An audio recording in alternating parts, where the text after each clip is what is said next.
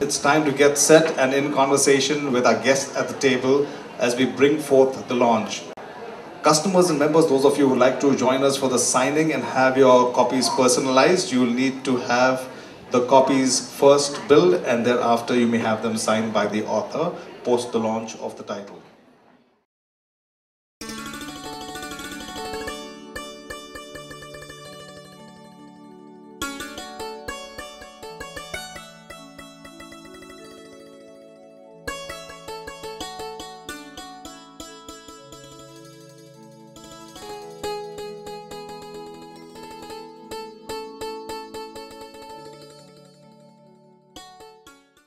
Good evening and a warm welcome to everyone out here with us at Crossword. Crossword aims to be a point of social and cultural interaction, a place where authors and poets hold court. Children are regaled and people just like all of us been enlightened. This evening, I invite you one and all to kindly put your hands together and let's receive Chetan Bhagat, the author to the title What Young India Wants, being published by Rupa Publications. We also have with us, and I'm very happy and delighted to have here with us at Crossword in conversation very shortly, a very elegant and stylish fashion designer and Masaba Gupta. Thank you so much for joining us, Masaba. From the film, kindly let's receive them with a very warm applaud. The very talented actress Shazahn Padamsee, thank you very much, Shazahn, for joining us. And the head of Rupa Publications, Mr. Kapish Mehra, thank you very much.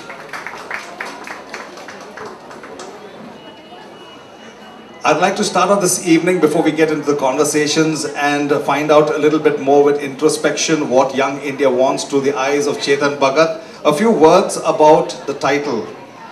In his latest book, What Young India Wants, Chetan asks hard questions, demands answers, and presents solutions for a better and prosperous India. A few of those questions why do our students regularly commit suicide? Why is there so much corruption in the country? Can't our political parties ever work together? Does our vote make any difference at all? We love our India, but shouldn't some things be different? All of us have asked these questions at some time or the other. So does Chetan Bhagat, India's most loved writer, in What Young India Wants, his first book of non-fiction. What Young India Wants is based on Chetan's vast experience as a very successful writer and motivational speaker. In clear, simple prose, with great insight, he analyzes some of the complex issues facing modern India. Well, there's a lot more that we're going to find out as we go through this, but I'd like to share a few words about the author himself. Chetan Bhagat is the author of five novels, all of which have gone on to become blockbuster sellers ever since they were released. They have also been adapted into major Bollywood films in addition to being best-selling. Chetan is a motivational speaker and a columnist. He was named one of the most influential people among the 100 in the world of Time magazine and also one of the world's 100 most creative people in business by Fast Company USA. Congratulations to that, Chetan. Presently, he lives in Mumbai with his wife, Anusha, an ex-classmate from IIMA, and uh, his twin boys, Shyam and Ishan. Do we have them here with us? Somewhere around the corner, yeah. So thank you very much, Chetan, for joining us. To get the ball rolling this evening, firstly, on behalf of the publishers, Rupa, I'd like to invite Mr. Kapish Mehra to share a few words with us this evening. Uh, thanks for that wonderful introduction. A very good, good, good evening to the honorable panelists, uh, distinguished guests, ladies and gentlemen. Uh, there are various ways to begin a book launch. Uh, describing the book, talking about the author are one of the many. But I would probably step back and take a moment to reflect on the journey of Chetan Bhagat. A journey that started seven and a half years ago. A journey that started with Five Point that led to one night at the call center, that led to three mistakes, that led to two states, Revolution 2020, and now what Young India wants. A journey that has led to 6 million copies sold over the last seven and a half years. Ladies and gentlemen, 6 million copies is a very big number in India. Uh, published in 17 languages across the globe. Uh, regular books are published in one or two. 17 languages across the globe, uh, these titles have been published. So I think this deserves a big hand for Chetan. So congratulations.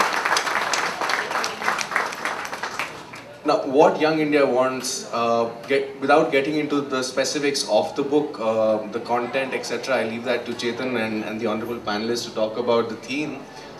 The, the best way to define a book from a publisher's perspective is by sales numbers. It's like the opening week at Bollywood.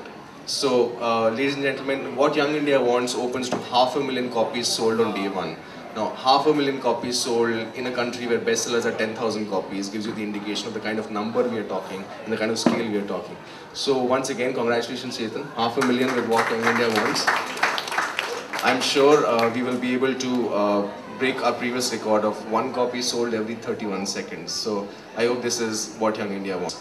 Of course, bringing forth and highlighting the works of Chetan through the years. Now there's no waiting any longer. For those of you especially who've been waiting through a couple of hours to get hold of Chetan, well, I'm going to surrender him to you very shortly, but not before I invite Chetan along with our very special guest at the table to kindly get your hands onto the covers and let's unwrap what young India wants with much thought this evening.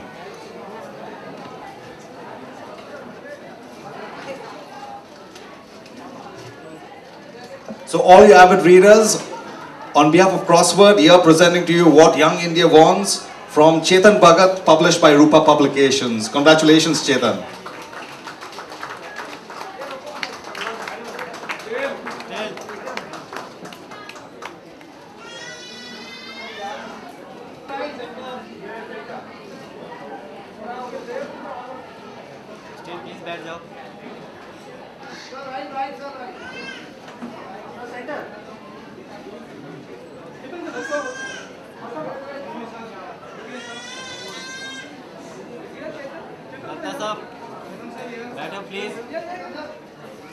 Thank you very much.